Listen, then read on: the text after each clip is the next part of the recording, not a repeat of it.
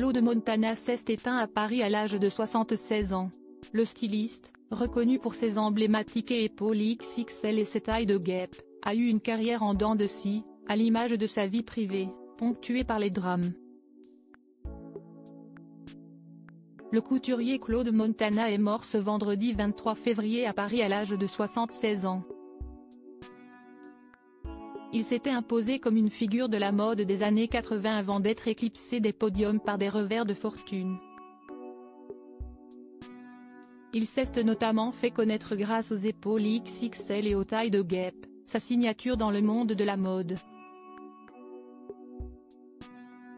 Une carrière faite de très haut et de très bas, comme le disait lui-même le styliste, reconnaissable à son éternel look Easy Rider blouson, pantalon de cuir et Santiago. Révélé dans les années 70, coqueluche des années 80, il connaît la consécration en franchissant en 1990 les portes de la maison Lanvin, qui fête alors ses 100 ans. Il y récolte coup sur coup deux dés d'or, la plus haute distinction dans le monde de la mode.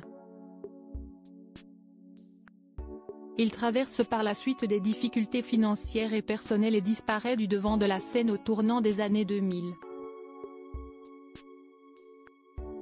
Né le 29 juin 1947 à Paris, Claude Montama, son vrai nom, grandit dans un milieu aisé.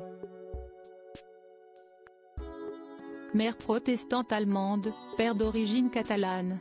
Élève au lycée Condorcet, il n'a pas du tout l'intention de suivre le studieux parcours de son frère aîné. Après le bac, il est figurant à l'Opéra de Paris avant de filer en Angleterre, attiré par le swing London marginal. Ses parents désapprouvent ses choix et son mode de vie et coupent les ponts. Définitivement. Le succès de leur fils n'y changera rien. Il restera en revanche très proche de Jacqueline, sa sœur cadette qui l'accompagnera dans ses projets professionnels et sera son assistante pendant des années.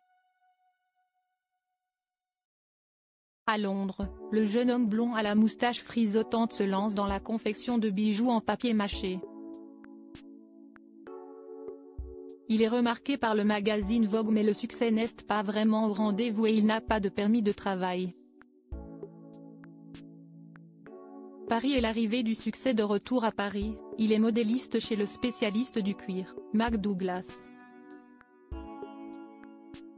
Mon métier, si est-il la mode, se dit-il alors.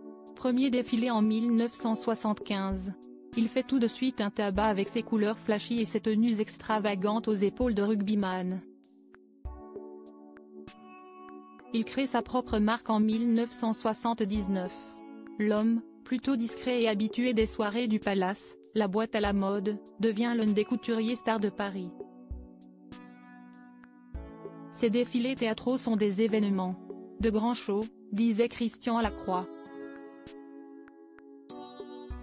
Après avoir décliné la proposition de Dior de devenir son directeur artistique et de prendre en charge à la fois la haute couture et le prêt-à-porter, il rejoint Lanvin, qui veut réveiller ses collections.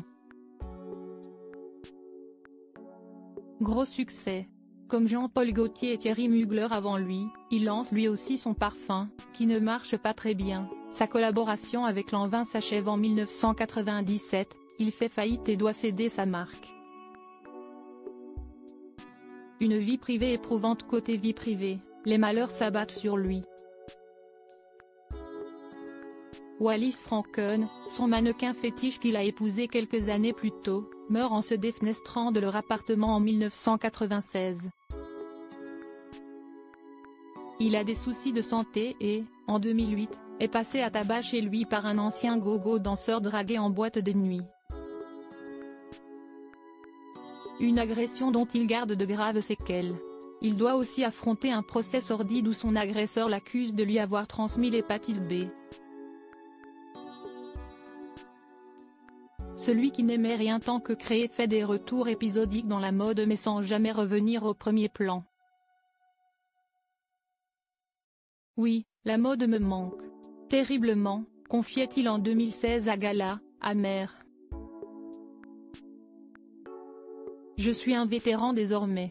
On m'a oublié. Sans doute le milieu saura lui rendre hommage pour tout ce que Claude Montana lui a apporté.